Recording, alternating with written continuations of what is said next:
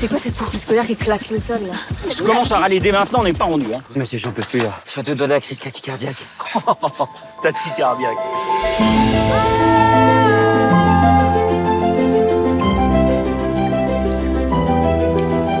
Monsieur, c'est vrai que le glacier va disparaître Bah, si personne fait rien.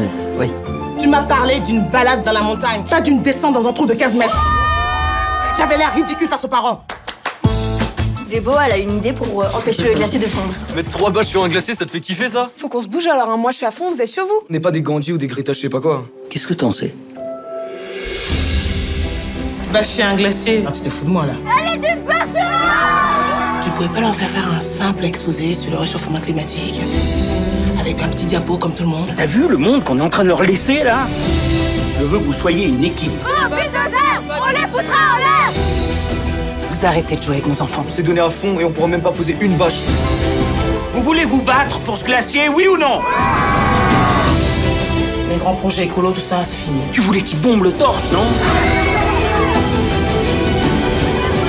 Regardez bien, parce que tu les changeras plus. Si nous, on est incapable de faire bouger toute une vallée, de quoi vous, vous serez capable?